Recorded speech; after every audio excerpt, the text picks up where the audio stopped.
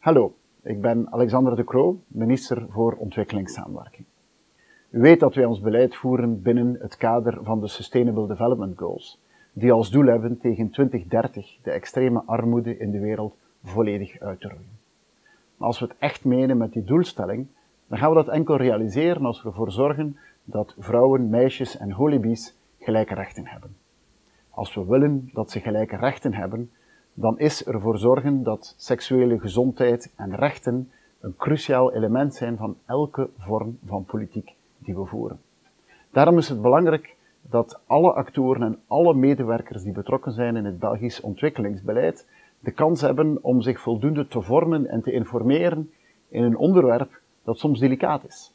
Daarom hebben we een e-tutorial ontwikkeld, die noemt Body and Rights.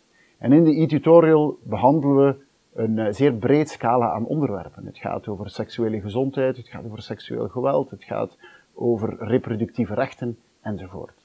Ik zou zeggen, ik raad u aan om die Body and Rights e-tutorial te volgen. Ik heb hem gevolgd en je kan er een certificaat mee behalen. Ik heb in ieder geval het certificaat behaald.